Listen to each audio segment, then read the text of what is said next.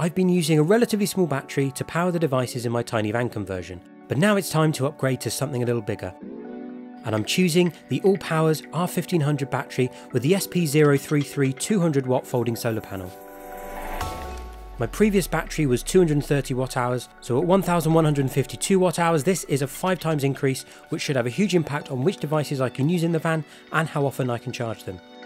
So you may be wondering why I haven't installed a leisure battery in the van and wired all my lights and electronics in.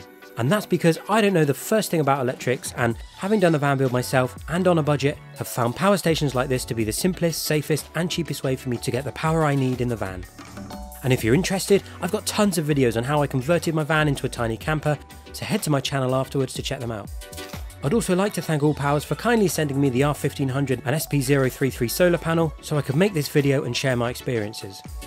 They've also kindly provided a 10% discount code for my viewers. Simply click the link in the description and enter AFJL10 at the checkout to save some money on your AllPowers setup.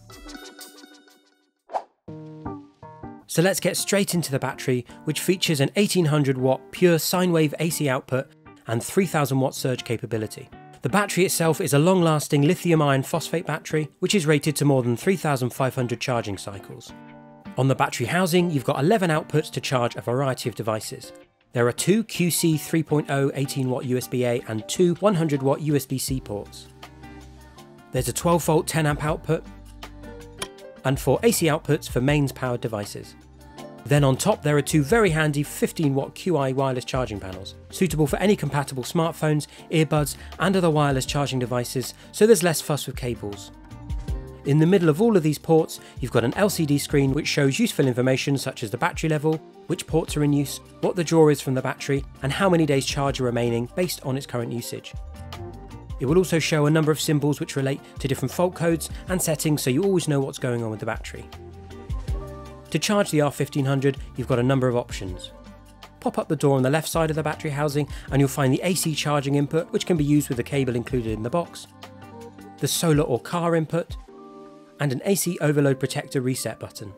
This means that you can charge your battery up before your trip from the mains, or on the road from your vehicle, or from solar panels, which I'll come on to shortly. The R1500 supports fast charging with a maximum input of 1500 watts, so you'll get from 0 to 80% in 40 minutes according to the manual. When I tested it, I found it took just over an hour to get to 80%, and 1 hour 40 minutes to get to 100%, which I still think is really impressive, whilst reaching a maximum of 1007 watts charging on standard mode. And I'll talk about the different charging modes later, because I think the speeds that I saw could be improved by changing the mode. The power station is also capable of pass-through charging, meaning that you can have the power station hooked up to the mains whilst charging or powering devices from it. So if the mains power fails, the device will stay on and your power supply is uninterrupted until the battery runs out or the mains power comes back on to charge the battery again. On the right side there's another door which pops up and this one houses two ports to which you can connect two extra batteries to increase the overall capacity. You'd need to use AllPowers' own cable to do this, which I couldn't find very easily online, and have extra batteries to hand, but it's a really useful function to have available. So how loud is the power station? Well, according to AllPowers' information, it produces 43 decibels at an output of 600 watts. But what does that mean? Well, I plugged an 850 watt toaster in and as the fans in the power station came on, my experience was that they only produced little more than a light hum in the background, akin to a small fan and certainly nothing too disruptive. That said, the power station does get a little bit louder if you increase the load, but according to AllPowers, the maximum is 55 decibels. At no point while I've been using the power station has it got uncomfortably loud. The R1500 weighs 16.7 kilograms or 36.8 pounds, so it has a bit of bulk, but with built-in carry handles, it's really not too bad to move around, though you wouldn't want to carry it for long periods. In addition to the power cable already mentioned, included in the box is this nice branded cable pouch, warranty information and an instruction booklet. Another great feature is the AllPowers app, which connects to the battery so you can check things like the remaining charge and draw from the battery from a device. To set this up, first download the AllPowers app from your phone or tablet's app store and have your battery at the ready. You then have the option of connecting your device to the power station via Bluetooth or Wi-Fi. For Bluetooth, make sure both the Bluetooth of your chosen device and of the power station are turned on. It isn't immediately obvious how to do this on the power station, but simply hold the DC output button for 3 seconds until the Bluetooth and Wi-Fi icon on the screen changes. Tap the top plus button on the AllPowers app and click the next step button. Then, once your unit is detected, select it and you'll be connected. Wi-Fi is a very similar system, except you'll need to enter your email and be sent a one-time code, then you'll put in your Wi-Fi details. This will likely be a more secure and stable option if you're using the battery at home, but out in the van, I'll likely use the Bluetooth option. I did have the signal drop out a few times when trying to connect, but once connected it stayed pretty stable. Of course, if you're next to the battery, as you would need to be for a Bluetooth connection, then you could just look at the screen, but you'll need the app to switch between different modes and settings which you can't do manually on the power station. Once in the app, you can immediately see the battery as a percentage, in hours and minutes, and in days and hours. Below that, you can see the live input and output of the power station. Then underneath, you can switch the AC or DC outputs on or off, and you can also switch the AC outputs between 50 and 60 Hz. 50 is standard for the UK, while 60 is for the US. Press the three dots in the top right corner and you can select the work mode, choosing from standard, mute and fast mode. These are input charging modes, or how fast the power station charges, not the devices you're charged with the power station. Mute mode uses self-adjusting technology to a maximum of 400 watts to prioritise a much quieter charge, with standard mode, which I used to charge my power station earlier, topping out at 1000 watts, and fast mode, prioritising speed over sound level of 1500 watt. Eco mode optimises the devices you charge so you get the most out of the power station and you can also schedule the power station to shut down after a length of 1, 2, 4 or 6 hours. And finally, you can personalise the name for your battery. Moving on to the solar panel, the SP033 200 watt folding panel is included in this solar generator kit, and a panel of this size will be a game changer for anyone, like me, looking to get off grid in a van. There are four polycrystalline silicon panels to this setup, which when folded measure 650 by 151 millimeters or 25.6 inches by 20.3 inches. And they're built into a carry case, complete with a handle, a high-vis edge, and cable storage. When unfolded, the panels measure 2230 by 630 millimeters or 87.8 inches by 25.6 inches.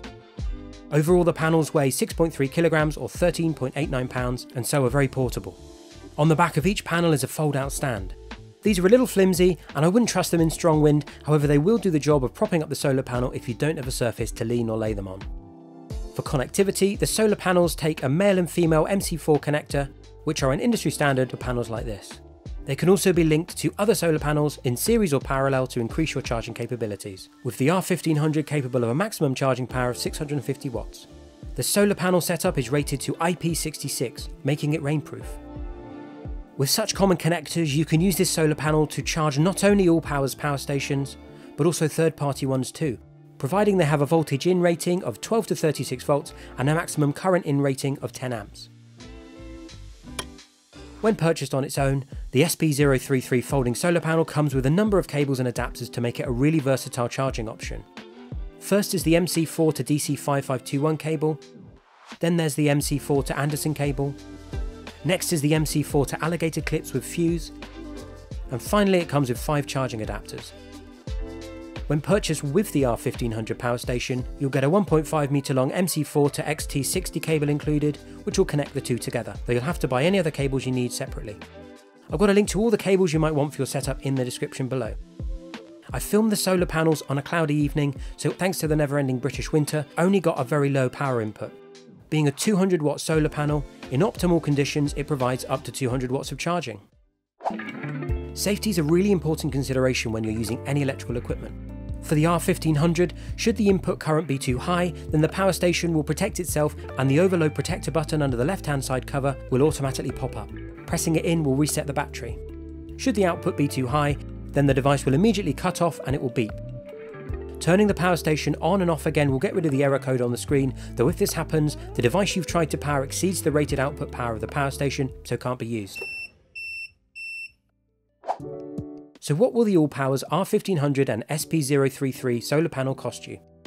The R1500 retails at £969, but can be found online for as little as £600, which is a really competitive price for similar units. The SP033 solar panel retails at £400, but similar deals can be found bringing it down to under £250, so again a decent price for what you're getting. However, if you buy them together as part of a kit, you can get them both for £800 at the time of filming. I've got affiliate links to the power station, solar panel, and relevant cables below, which help support this channel. And don't forget to use the 10% discount code AFJL10 at checkout. So, what do you think of the AllPowers R1500 power station and solar panel setup? Could this be a useful addition to your camper van or backup battery at home? Pop a comment below, and be sure to let me know if there are any other products you'd like me to review too. Thanks for watching.